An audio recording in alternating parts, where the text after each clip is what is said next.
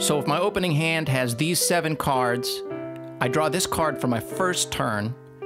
My opponent passes his turn without playing any lands. I cast this and this. I win. Well, I don't actually win. It's a pretty sweet eight card combo.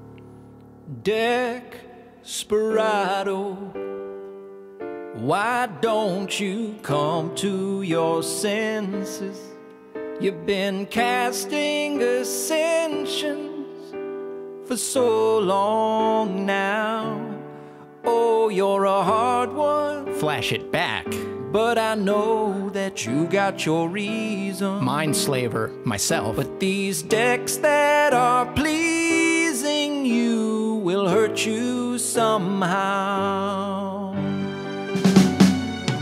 Don't just leave that sundering titan, boy. They'll beat you primeval one is always your best bet. Now it seems to me some fine decks have been laid upon your table, but you only want the ones that just can't win.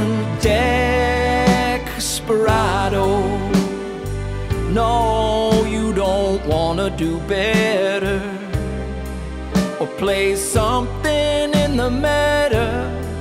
You just go oh and 8. It may be raining,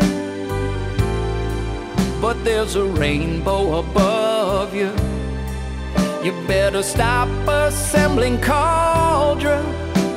Stop assembling Kaldra. You better stop assembling Kaldra before it's too late.